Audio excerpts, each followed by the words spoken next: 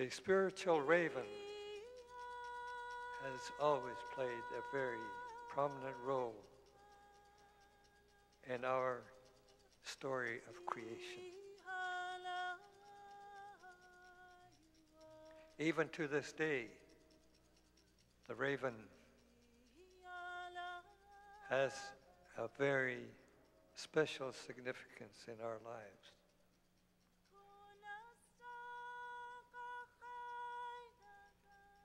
On the 13th of March,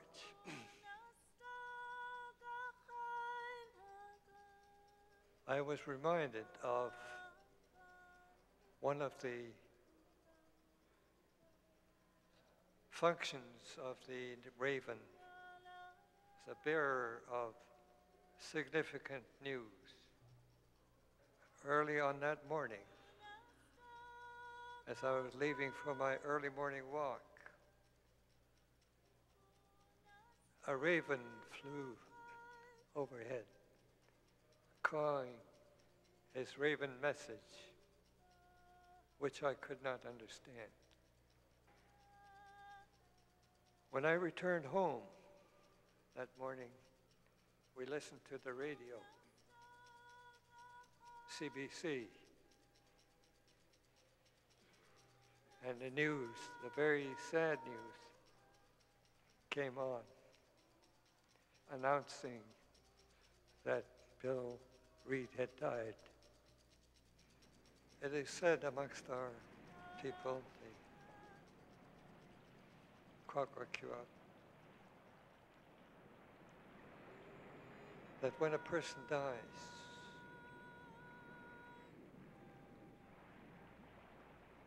he comes back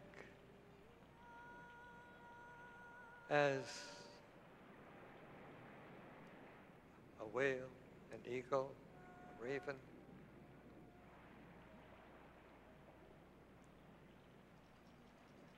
Whether that's true or not, I'm not prepared to argue it. But I can tell you all that the first raven you hear will probably be Bill greeting us with his unique message for which I will be forever grateful. Over.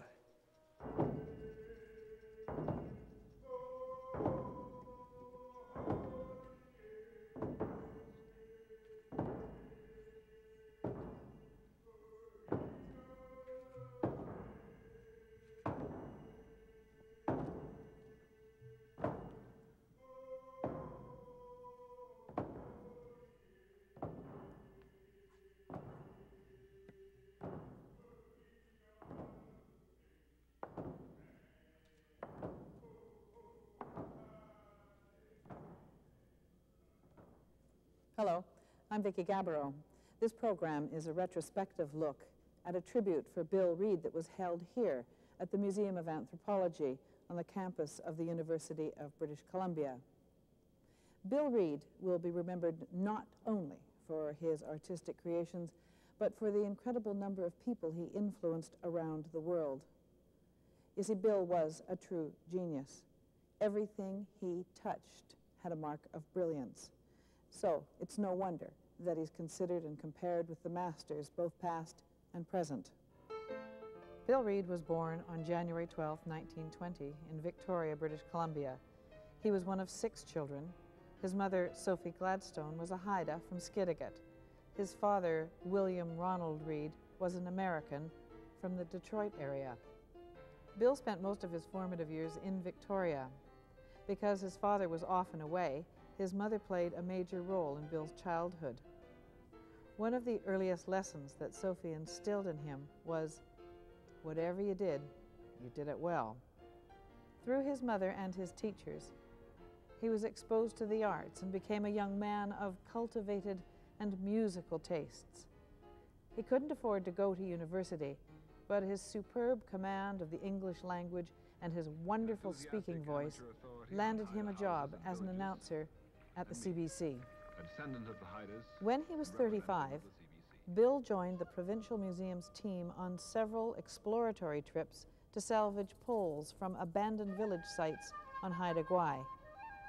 These trips were dramatically moving experiences for him and changed his life forever. His journey to becoming Haida had truly begun. In 1958, Bill applied and was hired to reconstruct part of a Haida village at the Museum of Anthropology at the University of British Columbia. Bill immediately resigned from the CBC. The resulting carvings, through which Bill Reid essentially taught himself the craft of pole making, are now outdoor exhibits at the museum. We will have, I think, these two houses and their attendant poles when we're finished. As a matter of fact, I got a sketch here which shows pretty well what we intend to do. It's, uh, uh, as you can see, there's a big house here. This will be 40 feet square, uh, ground floor, and this one will be approximately 20 feet square. In the decades that followed, he went on to not only revive the art of Haida carving in wood, but also in intricate jewelry making, fine boxes, massive sculptures, and beautiful prints, creating living legends that inspire and impress everyone who sees them. For the last 30 years of his life, Bill struggled with Parkinson's disease, which in many ways makes his contribution even more significant. As much as his achievements were driven by his talent, it was through his wife Martine's own strength and love that many of his magnificent works were completed. Although it took years for Bill Reid to awake to his Haida ancestry, he was to become the single most important figure in the late 20th century renaissance of Haida culture. So it was no surprise that over a thousand people gathered here in this Museum of Anthropology on the 18th of March, 1998, to say goodbye to Bill. Their memories and their thoughts in the tribute just give us a glimpse of the legacy of this great man.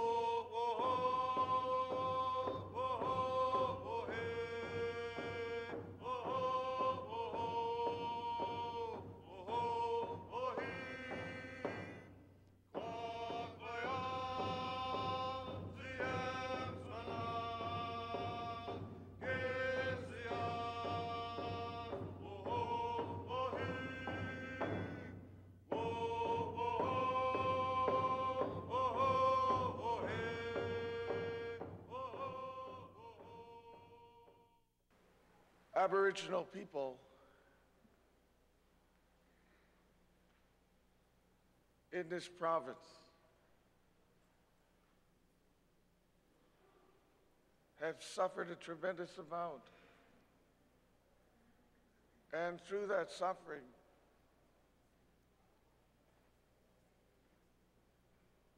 I believe had also gone through a similar awakening to our identity.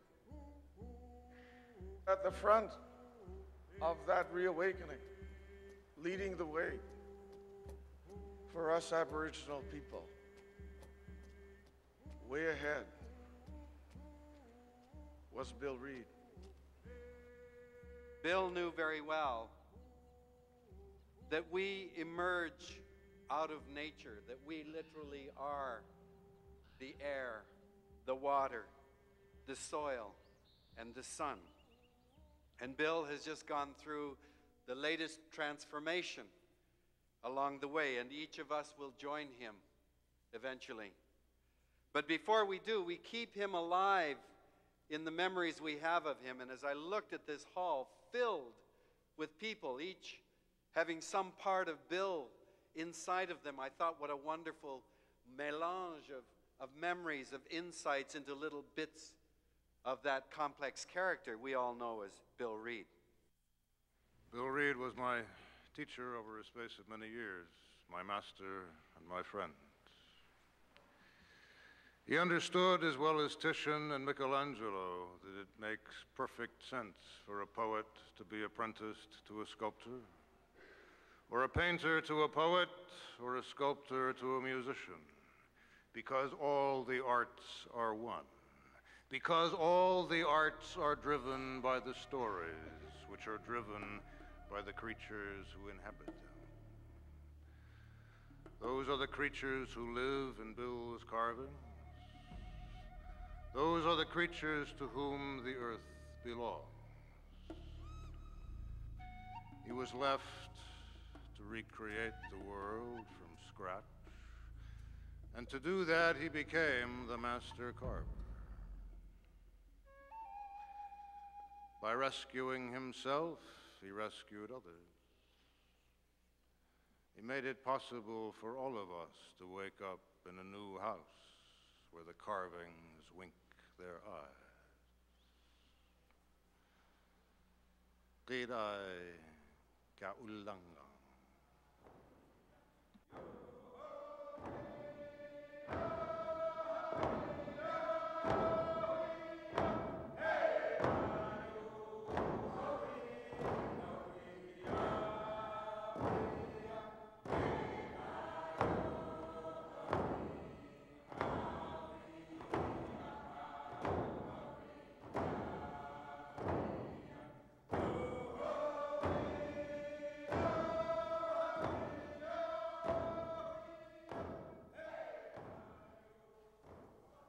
Think is of great importance to all to realize how important culture was to Bill. It may have been onto his life as he tried many other things and was never satisfied.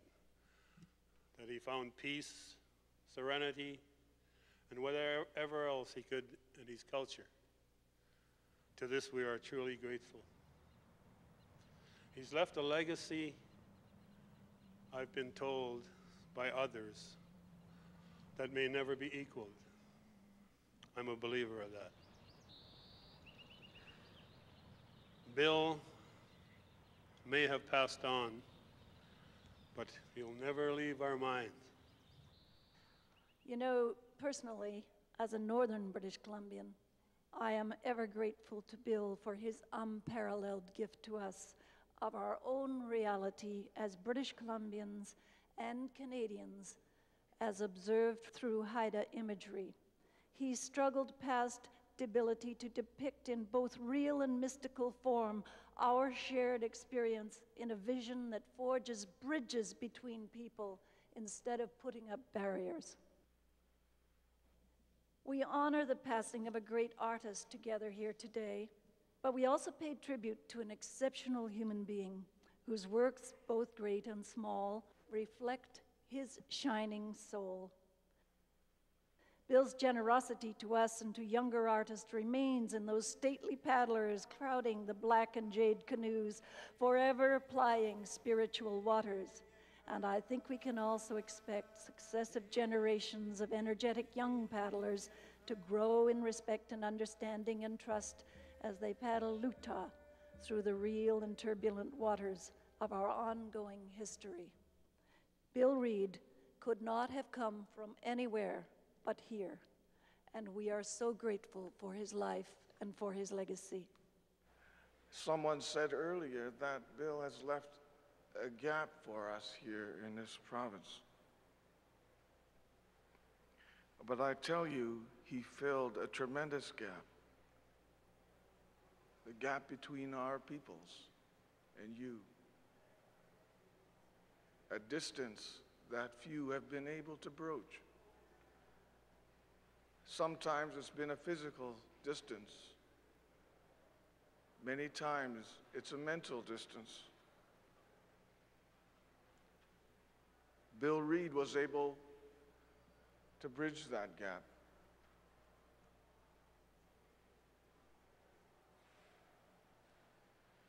And it was a daunting task. And First Nations in this province thank him for that. It's from the work, the great work of this man that I believe he set a trail for us to follow. One of goodwill, one of kindness and integrity. And yes, one of true craftsmanship. I've often thought that amongst all the things, all the creations that Bill made, that the most significant aspect of his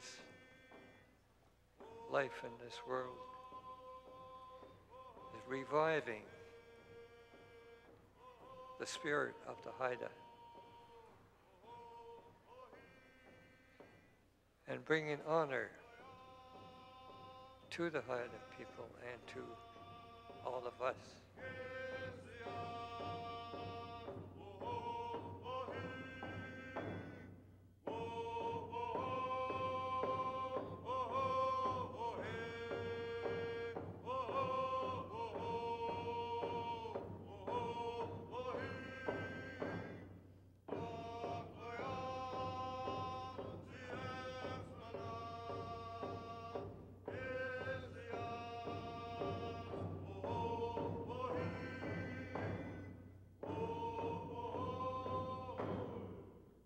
Everyone's memory of Bill is so different according to the context and time of their friendship with him. He had the confidence in his own position to hire and work with the most skilled people he could find, regardless of their race. It didn't matter who the slaves were, as long as they were genuine bricoleurs. I never could have imagined that anyone could arouse such a huge range of feelings in such a mass of people. I saw and felt awe, anger, envy, jealousy, compassion, rage, and exhaustion. and I never could have imagined that one figure could create such a torrent of controversy in adulation and anger. Bill was called a trickster, a wizard, a cultural savior, a mentor, a liberal, a plaintiff, a defendant, a critic, an activist, a modernist, a maestro, an honorary doctor, a shaman, a wolf, and a Haida. I probably knew Bill Reid longer than anybody here, except Peggy. uh, 19, um, okay, 1938, towards the end of the Depression there weren't many overweight people around. And Bill and I were not overweight. He was slender. I was skinny. but I somehow got involved in taking art lessons from Alan Edwards in Victoria. He had a little schoolhouse in the middle of a block that was right downtown Victoria. And we took evening classes where we had a live model. We were doing life drawing, and Victoria had never had a life drawing class before with a live model. And the city fathers heard about this and they could only see this giant word, orgy, that they had to take all precautions to keep Victoria pure and sweet. So we noticed that one night we had two members of the Victoria Police Force joined the life class. And from then on, we had two members of the police force every time we had life class, but they were never the exact same policemen. Which we thought was rather interesting. Now, on the outskirts of this life drawing class, there was this slender young man. And I didn't know who he was, but I gradually found out he was Bill Reid. And then I heard that Bill Reid had designs on this model, and they weren't Haida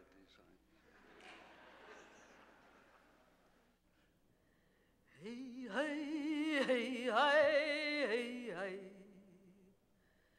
Hey, hey, hey, hey, hey, hey. Hey, hey, hey, hey, hey. Sibo. Oligan no so kaman. Hooligan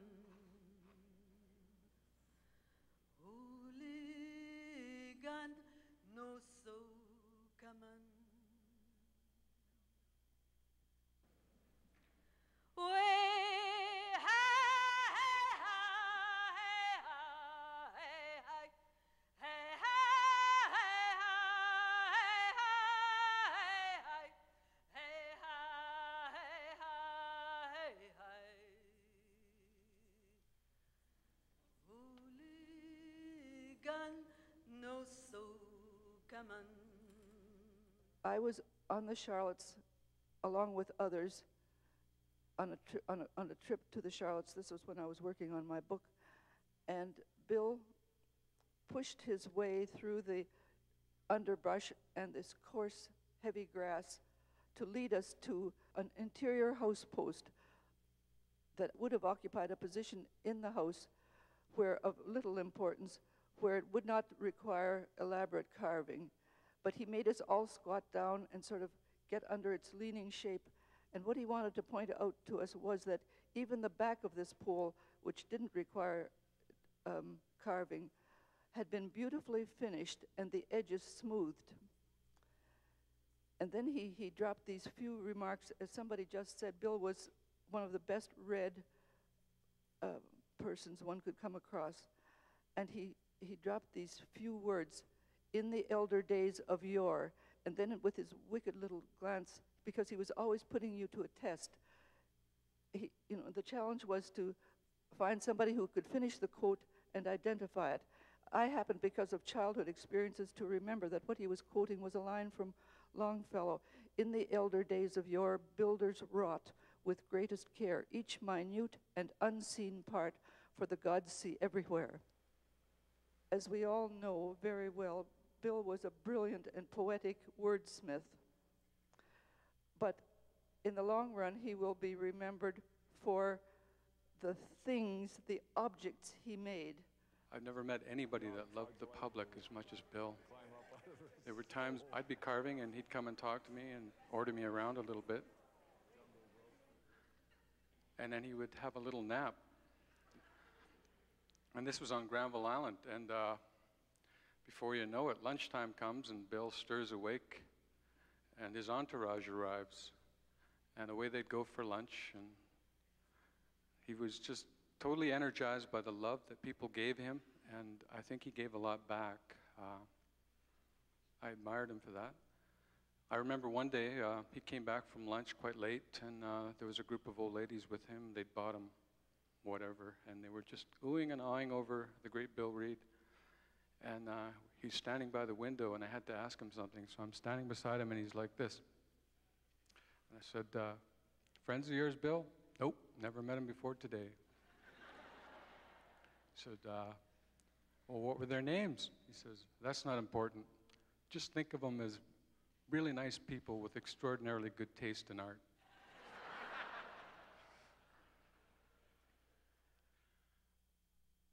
Now, I was, I was privileged to visit Bill many times in his home, but I have to tell you, he always intimidated the hell out of me. So I was very nervous about talking to him, and he, as Brian alluded, he had a, a wicked sense of humor, and I, I could never figure out whether he was being mischievous or serious. I remember once he said, Why don't you organize a, a demonstration about all the clear cut logging in Kerrisdale? And I thought at first that he was making fun of me, but I realized that he was serious, that it really bothered him that we have an urban forest.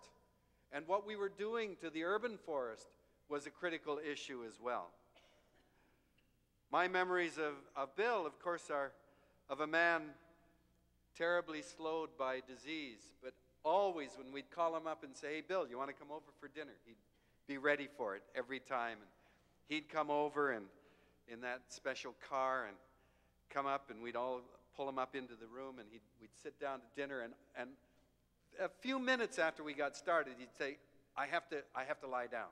And he'd just go down on the floor, stiff as a board, and we'd all carry on without him. And then eventually he'd get up and come back and, and join us because he just loved to be with people and to have a party. And, and he, he tried very hard not to let his body uh, be, uh, hold him back. Uh, I too found Bill somewhat intimidating, uh, and that search for perfection combined with a delicious sense of humor uh, was enough to keep one on edge. And early on, I, I went to have lunch with Bill uh, on Granville Island, as I recall. Uh, and you never knew with Bill quite, quite what lunch would bring. It, it was kind of a command performance and a wonderful one. Usually there were surprises. More than once I cut my finger trying to do something on boxwood. Um, I made the mistake once of complimenting him on the luster of the black canoe to have him tell me, of course, it was only Kiwi black shoe polish.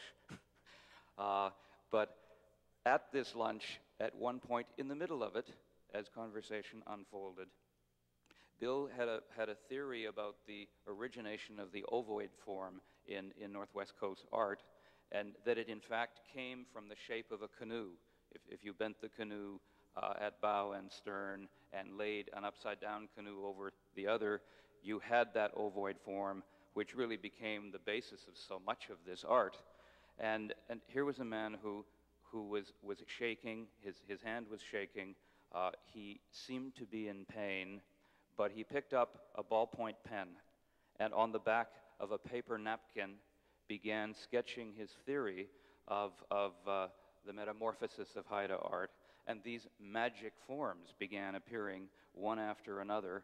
And in these ovoids, which had begun as canoes, there was a kind of a cosmology. A whole world erupted that I didn't understand, or certainly did not understand then.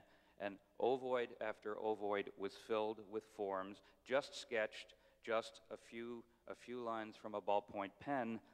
But in that hour, a world came alive and, and certainly I learned to see things in a different way. As the lunch went on, of course, Bill had a penchant for adding parts when he was doing things, and I know that there was probably a pretty good party going on in at least one of those ovoids before, before the lunch was over. But there was a magic sense of, of, uh, of a different world and the kind of world that, that he put himself in. Well, Bill, it is said that you didn't suffer fools lightly. Well, I must almost have gone that route. It was in 1980. My wife and I were planning our new house, and you offered to carve a door for it. I made a remark that it was important that the door be ready on time and that delay could not be tolerated. Jim Hart and you worked very hard to produce a wonderful door delivered many weeks in advance with your comments you Swiss are not the only ones that are efficient. Touche, Bill, touche. When Bill and Martine first came to my studio in 79 and asked me to work on the Raven piece, I was so excited to be able to contribute to his legacy. Bill was at the peak of his mastery. His only instruction was don't look at the model, make it feel like a clamshell, and oh, by the way, if the balls are in the wrong place, feel free to change them. An interpretation would mean carve the anatomy, but keep it Haida. Then he disappeared for three days while I contemplated how Canada would treat me if I destroyed the piece. But then Bill arrived like a movie star in a gray Rolls Royce, wearing a white shirt and sunglasses, complaining bitterly about all his social obligations. He was like nothing I had ever encountered before, a true mentor with the conviction of the priests from my Catholic childhood. He would ridicule the church while praising the raven's cunning skill in bringing light to the world. He was humored by people who were searching for their inner self, knowing that you construct yourself by what you do and make. He needed his art, writing, and storytelling to survive, to keep his mind off his Parkinson's. His enthusiasm for his work, in spite of his daily, hourly, minute by minute pain, is his greatest achievement. We younger people complain about our aches and pains, but we can only imagine from the pain on Bill's face what he went through in the later years for the joy of creating.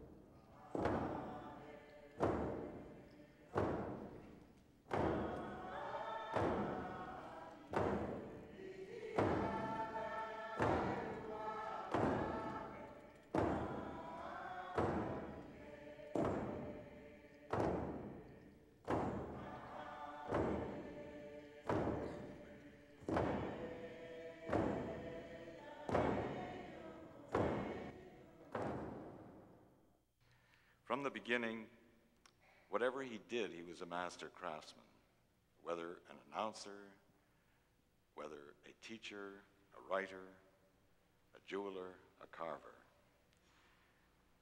And that's what gave him his uniqueness, his meticulousness, his focus. And through his work, he gave us a different insight into art, whether it was in the native tradition or the cutting edge of the contemporary, because he dwelt in both worlds, showing us that excellence, the most taxing of all demands, when achieved, transcends the limitations of place, time, and culture. By witnessing his native heritage, discerning it, but not completely surrendering to it, building on his Western training, but not dependent on it. He bridged both and brought to his work the immediacy and pertinence of the eternal present, no matter how ancient his sources. His presence here in this building will always be there for us. In the guy turning his back on the shell of the raven, taking one look out and saying, I've had enough. When given the sight of a gun turret for his peace, the very image of war, he deified it by putting on it the Haida myth of creation. He is the reluctant conscript in his parody of the political game, the chief mimicking in a way Washington crossing the Delaware, impervious to the quarreling animals around him. What raven mischief he engendered. What pleasure he gave us, and what inspiration. We will always be thankful for his great contribution.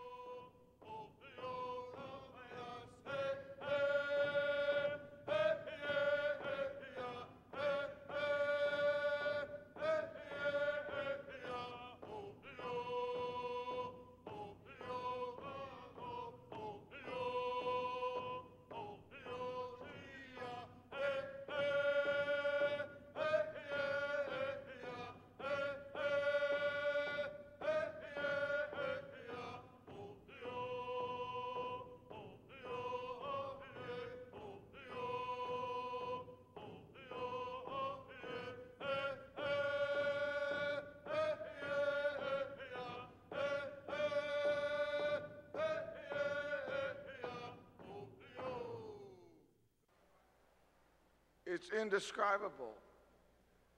I believe the feeling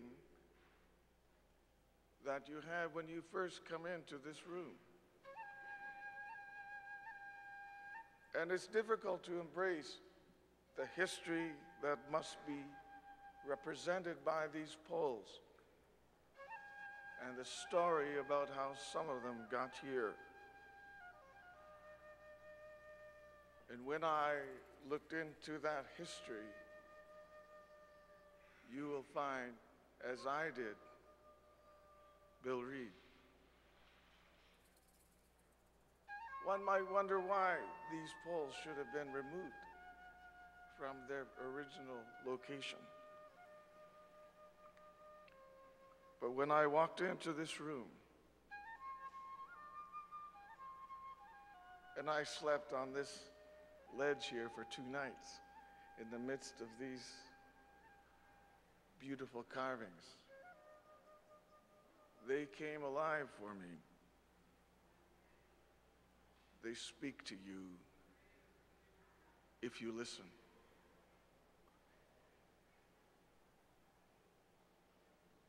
Bill Reid hasn't really passed away. He's gone home.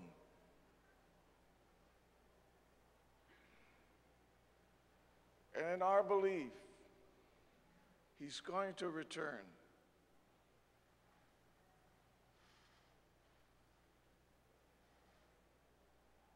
Someone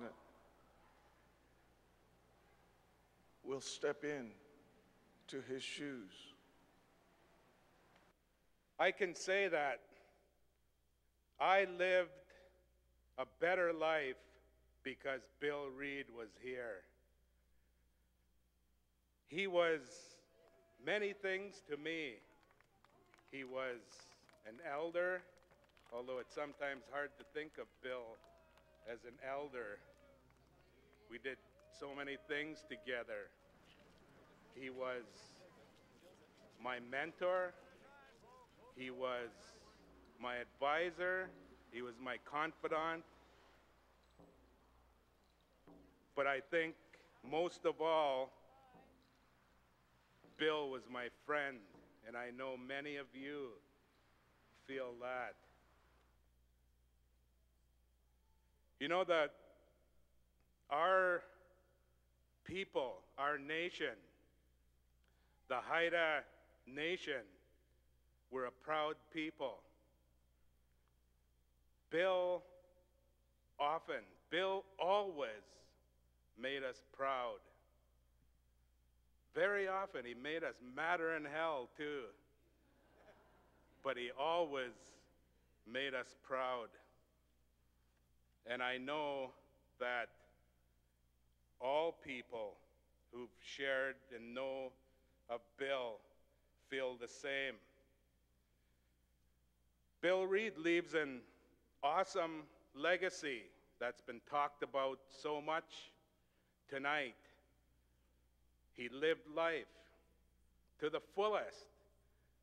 Even when he was racked by the diseases that he had, he wrung every ounce of life out of that body of his and he enjoyed it right up until the end. And it's so beautiful to see, to, to witness. And when people look back at what Bill Reid is about, they'll remember the high standards with which he did things. You might think that Bill is going up to Queen Charlotte Islands, but I have my own version of that, and I can do that because this is a democracy. I believe he's up in that great studio workshop in the sky. That's my personal belief. And this is a great workshop with every creative person that's ever been in the world up there. It goes for trillions of miles in all directions.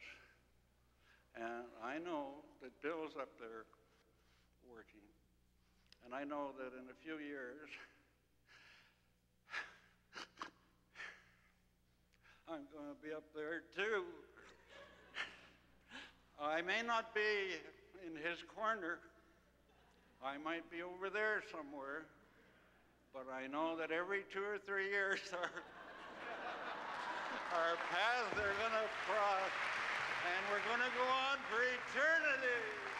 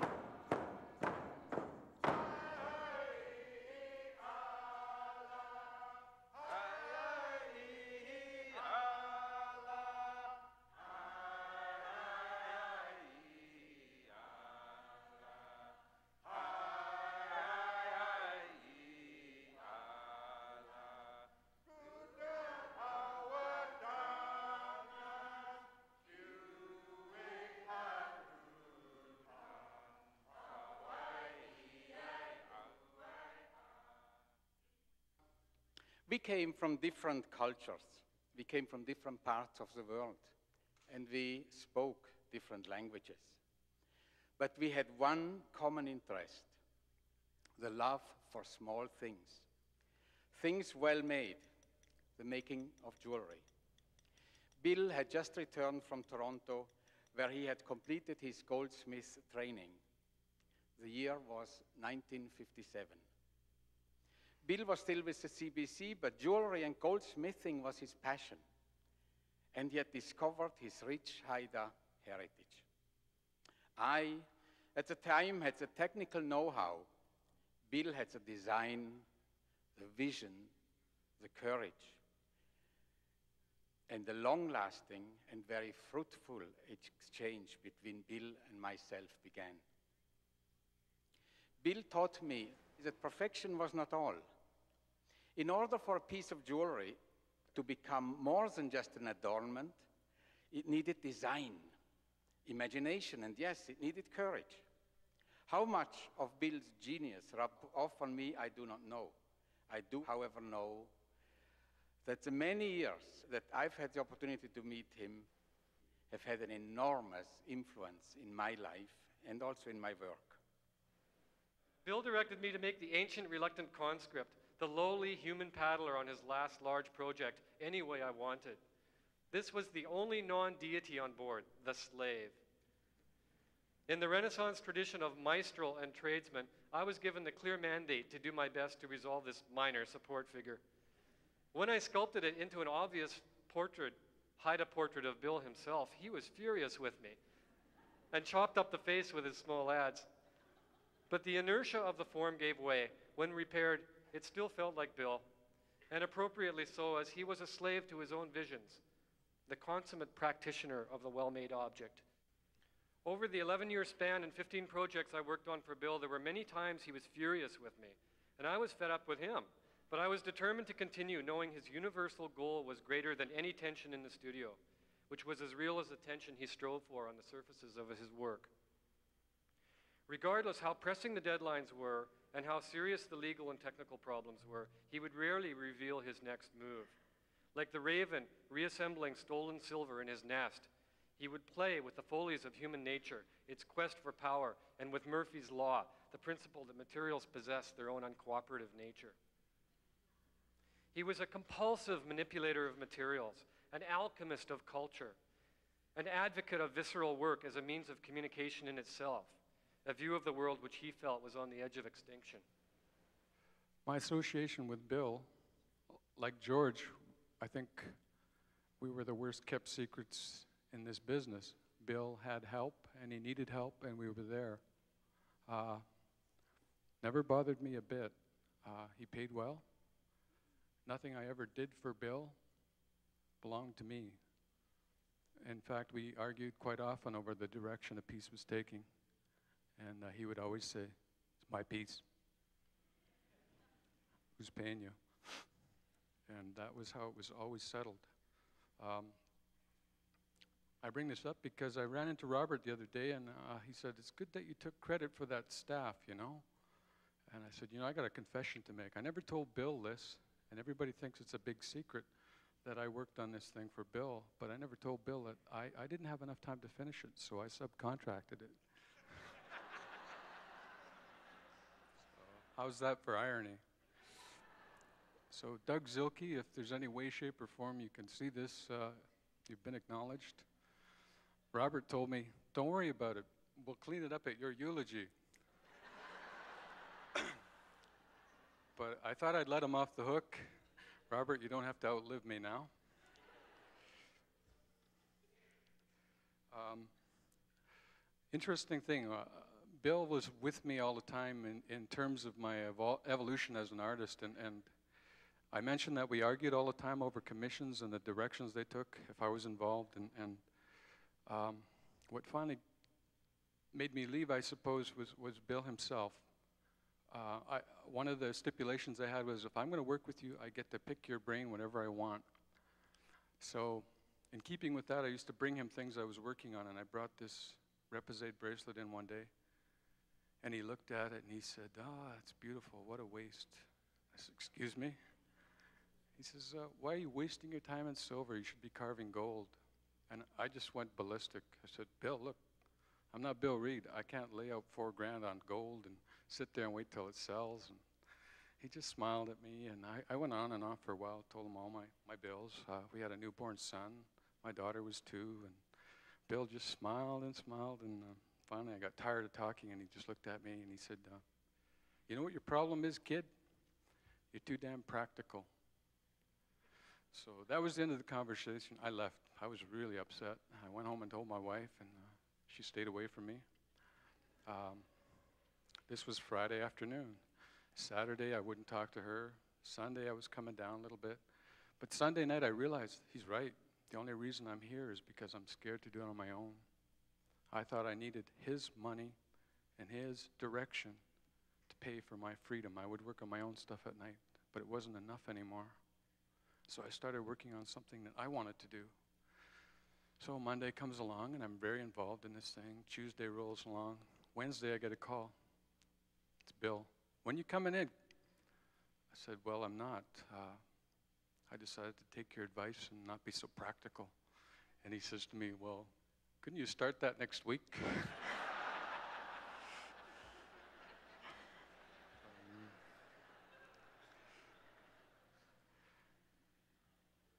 um, and but he accepted it. I told him my reasons, and, and he never argued with me. He just said, "Don't be a stranger. Come around sometime." I could have learned, you know, a heck of a lot more from Bill, but I, I called it and decided to go on my own way. Like I said, I had to stay away from him. I didn't, uh, didn't, I didn't want to do that. I'd get near him and he'd suck me up in his quests, his plans, dreams of great works. It was great times to talk about them. But for me, it was impossible. I was already heavily into my own work. So it was always kind of a my downfall. I had great times with Bill, and I cherish him very much. I also cherish what he's done for us as a people. He's held us up there. He introduced me into other art forms other than Haida. For a lot of, lot of years in my life, I thought Haida was the only art in the world, and that's all there was. But slowly I started learning there was others. Bill was right in there with all the greats. After I realized that, it was, I appreciated him even more. In many rights, Bill Reid is a chief. He was our chief carver, chief artist. Thank you, Bill, for the trails that you broke for all of us. You have expanded the art beyond Haida boundaries. How are Kilslai? How are Kishkulans? How are Iljuas? A forest doesn't die when the old trees die. A forest dies when the young trees die. And Bill has given all of us, Haida, everyone, all of you that come here to, to share this evening, so much insight, so much wisdom through his doing, and so much strength through his example. And now He's removed his shadow. That canopy which he raised so high in understanding and respect is gone now. And that light of responsibility is with us that are still here. And I feel so excited. I feel so good, optimistic about the future when I listen to Robert Davidson, when I listen to Don Yeomans, when I listen to Jim Hart and all the people, Haida and non Haida, who spoke tonight. We have such huge challenges in front of us, but we have so much to address it with. And one thing I'll say, one thing that Bill taught me, our peoples are going through a period of reconciling. Not forget that the Haidas don't exist or the Quagils don't exist and all these other people we do. Canada exists and British Columbia, and we must learn to get along together. And Bill understood this. And I think his masterpiece, to me, that's what it will always be. His masterpiece, the spirit of Haida Gwaii, sitting in the embassy in Washington and at the airport, is going to be a bright beacon of human beings and the realities they face, the living up to our own potential, and the need to pull together if we really want to get anywhere. Because when we really look at it, we're all in the same canoe. I know in times when I would get angry and impatient with politics and this, these issues of getting along with other people, I always listened when Bill said, and I will always remember, he'd say, Buddy, you remember in its most fundamental sense, Haida means human being. All I can say is, is Hawa, Kilslai. Hawa. We wish you peace on your new journey. We'll be okay. The art can't stand still. We're losing our last connections with the past. It would be ridiculous to think of people repeating the things that I am doing now, or that, or in 20 years repeating the things that Robert Davidson has been doing, or after that, whoever comes after him. Uh, I think there has to be, sooner or later, uh, probably a complete break with the legendary paths we know it. So out of this may come something which may make some permanent contribution to the general um, area, the arts.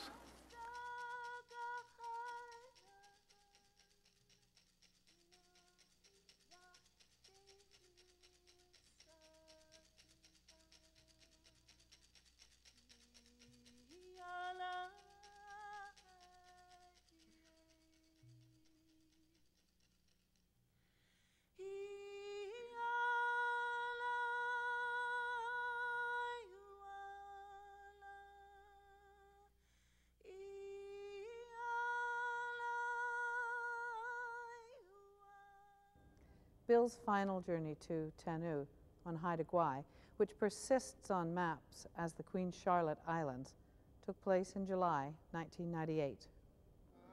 Bill believed that the Haida canoe was the most beautifully designed craft in the world, so it was fitting that his ashes were carried back to Haida Gwaii in Lootaas, the canoe he had personally carved.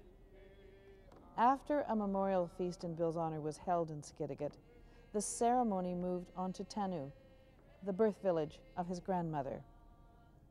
Upon arriving at Tanu, a procession of family and Haida peoples took Bill's ashes to the grave site. Some were scattered in the forest, and the rest were buried. Inscribed on his modest rectangular headstone are carved Bill's two Haida names, Iljuas and Yelth Squangsang.